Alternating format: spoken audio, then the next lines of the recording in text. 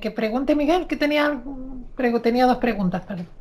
Sí, no, pero de momento le voy a formular solo una, que eso es un poco lioso también.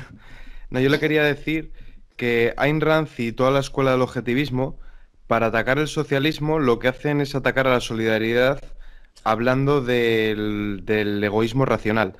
Pero yo considero que eso puede ser un error, porque la solidaridad per se no es algo malo, porque ha, ayudado a construir civilizaciones. Lo que deberían de enfocarse es en señalar que la redistribución de la riqueza por parte del Estado no es genuina solidaridad, sino que es coacción.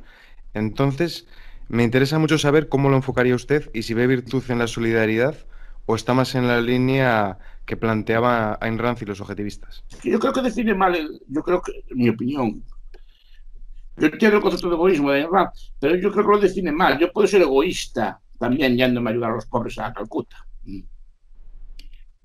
No que es un, es un viejo debate que tenemos. Yo, imagínese yo y la madre, la madre Teresa, ¿no? De Calcuta. Por poner un ejemplo así, pues, de persona entregada a los demás, ¿no? Sí, Madre Teresa Calcuta está en su casa occidental viendo la televisión y mira aquellos africanos o aquellos indios todos muriéndose de hambre. Y ella sufre lo pasa mal. Yo no puedo estar así mirando cómo estas personas sufren. Y va allí porque así se siente bien.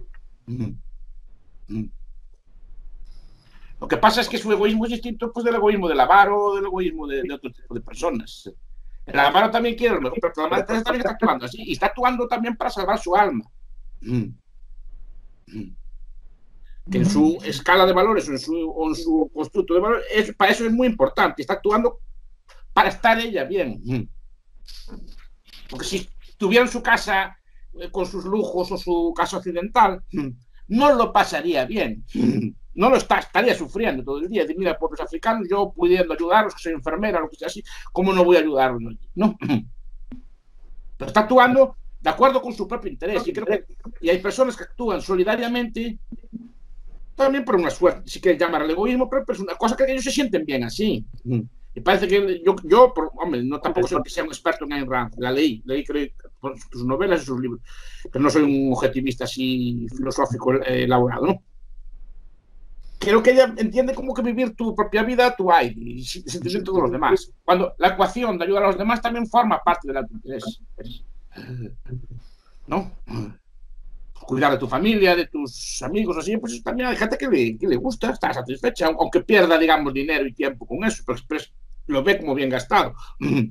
Y creo que es, una definición demasiado estricta de egoísmo. Tú puedes decidir sacrificar tu vida a otras personas si lo quieres, porque te sientes bien. Sí, estoy bastante de acuerdo con eso. Sí, sí. Cierto. Sí, porque es una cuestión mística, ¿no? De que uno cree que la salvación va a estar a través de ayudar a los demás, ¿no? Entonces ya es una cuestión religiosa de fe.